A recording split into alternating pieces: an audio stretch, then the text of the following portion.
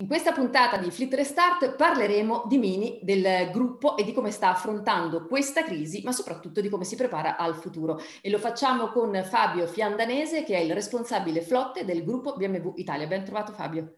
Buon pomeriggio Giulia, grazie mille e ben trovata. Allora Fabio, partiamo inevitabilmente da questo periodo storico veramente sorprendente perché dopo due anni di pandemia eh, purtroppo la guerra in Ucraina eh, sta mettendo in difficoltà eh, il mercato e la società civile. come sta resistendo il gruppo Mini e soprattutto quali sono le strategie per una ripresa? Sì, è sicuramente la domanda del momento, una domanda super calzante, super attuale. Eh, il periodo è estremamente delicato e complesso e come in tutti i periodi delicati e complessi dobbiamo sicuramente affidarci a, all'equilibrio e anche alla direzione del management. Riprendo una delle ultime interviste del nostro Global CEO Oliver Zipse che eh, comunica alla stampa che proprio in questo periodo così delicato è più che mai importante fare le cose giuste. E quando dice fare le cose giuste non dice fare le cose per bene, ma dice appunto fare le cose giuste e fare le cose giuste oggi è fare le cose anche con un eh, impatto positivo per la globalità, per la collettività, se vogliamo. Il gruppo BMW e ovviamente anche il brand Mini parte in questo momento eh, a, nella scalata di questa ripresa, se vogliamo, con una strategia molto chiara, una strategia di breve, di medio e di lungo termine che fonda oggi eh, la, le sue radici su tre pilastri fondamentali. Il primo è l'elettrificazione, il secondo è la digitalizzazione, il terzo è l'economia circolare.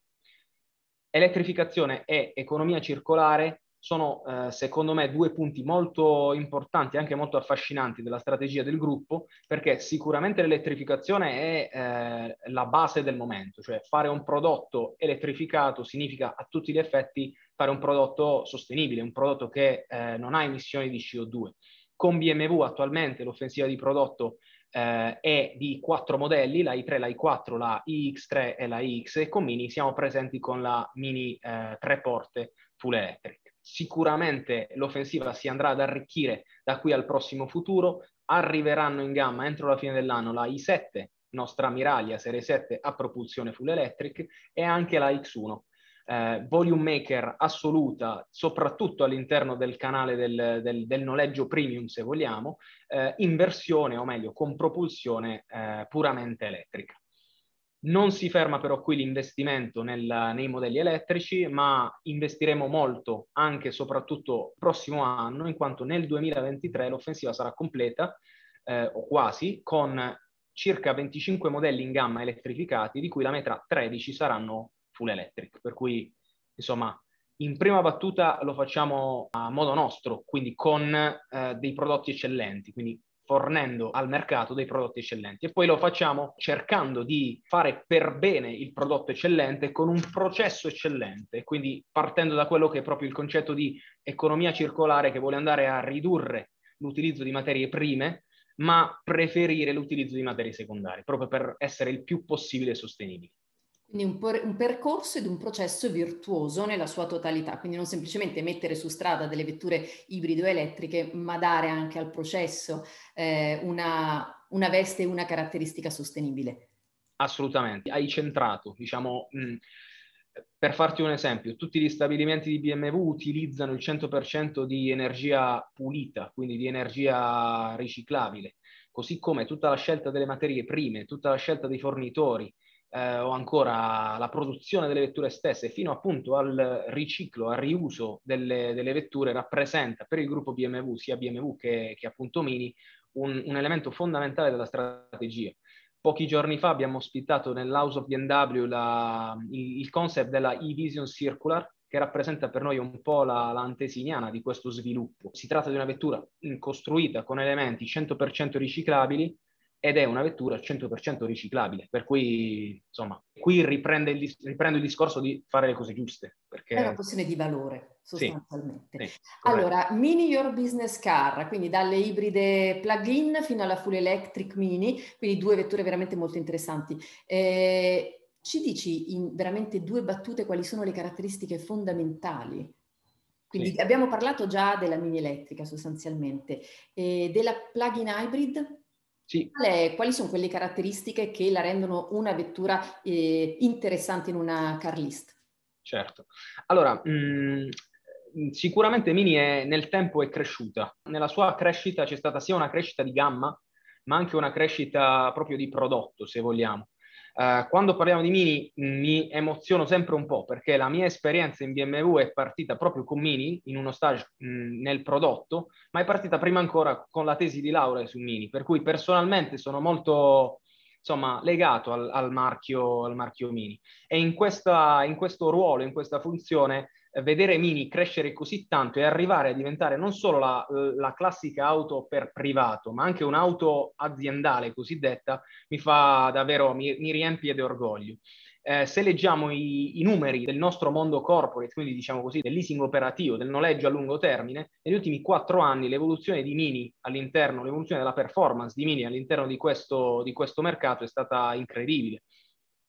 Parliamo nell'ordine di un incremento del 30%, che è un incremento importante in un, in un mercato comunque in sviluppo. E sicuramente eh, da, da, padrone nell'evoluzione di questa performance l'ha fatta la, la, Mini Countryman Plug-in Hybrid, che rappresenta oggi il volume maker all'interno della gamma Mini nel nostro, nel nostro mercato eh, e che è sicuramente una macchina adatta alle esigenze di, di, di un qualunque driver che vuole approcciare al mondo Mini. Eh, è una macchina che ha un'autonomia elettrica eh, che arriva a 50 km, per cui una macchina che risponde a quelle che sono le esigenze prettamente urbane, così come possono essere le esigenze prettamente urbane quelle di una mini tre porte SE, quindi la mini full electric.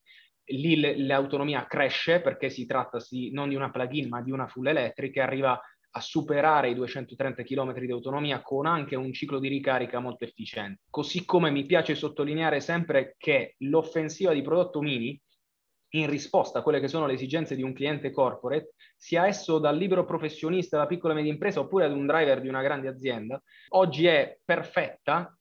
Per quale ragione? Perché la costruzione del prodotto è di fatto molto completa, cioè nell'allestimento di serie, nel 100% di una mini, tu puoi trovare il cambio automatico, lo schermo con 8.8 pollici, puoi trovare i, gli specchietti retrovisori eh, elettrici, i sensori di parcheggio, tutto di serie, per cui il, il clima bizzona, i fari, per cui veramente la vettura viene costruita in maniera di fatto perfetta e quando è costruita così ha un impatto decisamente positivo su quello che è il valore residuo che ne genera il, la rata mensile, per cui da un lato c'è una qualità di prodotto altissima e dall'altro anche una costruzione di un prodotto legato al business molto molto buono. In tutta la gamma Mini l'icona della Mini è su tutti i modelli, ma anche lo stesso go-kart feeling lo ritroviamo su tutti i modelli, anche nella, nella versione full electric.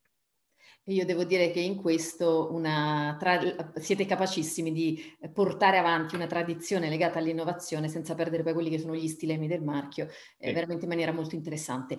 E ultimissima domanda che riguarda la parte B2B. Quali sono le soluzioni che proponete al pubblico appunto B2B?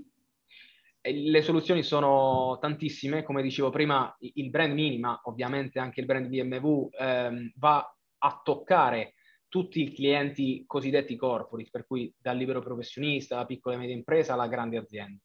Uh, oggi ci appoggiamo alla nostra rete di vendita, alla nostra rete ufficiale di vendita per quanto riguarda tutte le soluzioni per liberi professionisti e per piccole e medie imprese. Mentre andiamo sul territorio con il nostro team uh, dei Fleet Account Manager uh, dai grandi clienti, cercando di, di portare a loro tutta la qualità è la competenza, la consulenza delle persone del gruppo BMW. E devo dire che prima abbiamo parlato di, di sostenibilità e di eh, elementi che generano la ripresa. Sicuramente il primo elemento di ripresa, al di là del prodotto eccellente, al di là di, dei processi eccellenti che possono esserci in un gruppo tedesco come BMW, sono le persone. Per cui oggi come oggi il primo elemento che ti, ti permette di arrivare a scalare questa montagna difficile sono le persone in BMW l'eccellenza delle persone direi che viene prima del prodotto.